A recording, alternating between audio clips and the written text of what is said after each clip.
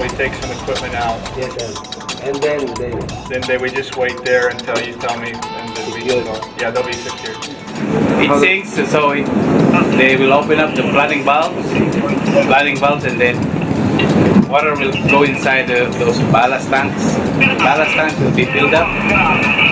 That is the way you control the dock when it's going down.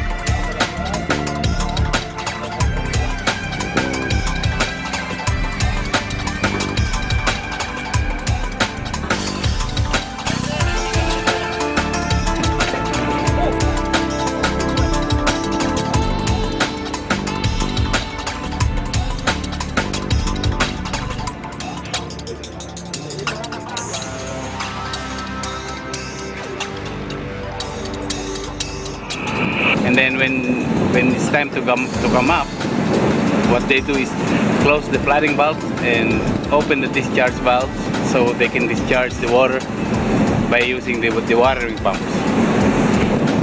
And then that way it will go up, emptying emptying all the water in the, ballast tank.